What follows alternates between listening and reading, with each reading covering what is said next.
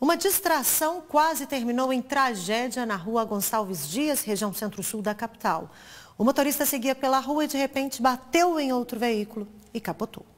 Bastou segundos de distração. Na hora que eu assustei, o carro já estava de cabeça para baixo. Susto também para o Vitor, motorista de aplicativo que havia acabado de deixar um passageiro. Ele estava devagar, ele devia estar uns 10, 20 por hora, foi muito...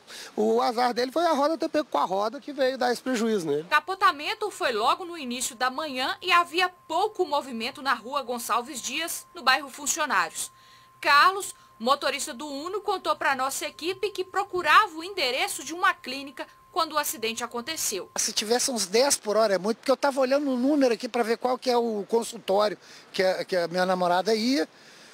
E então o carro eu estava quase parando. Apesar do susto, ninguém ficou ferido. Ninguém machucou, só prejuízo material. Graças a Deus não teve, não teve machucados, não teve. ninguém tinha ingerido bebida alcoólica, estava tudo tranquilo. A gente está até esperando o, o reboque para poder estar tá acionando só os prejuízos materiais mesmo. Ainda bem, que susto.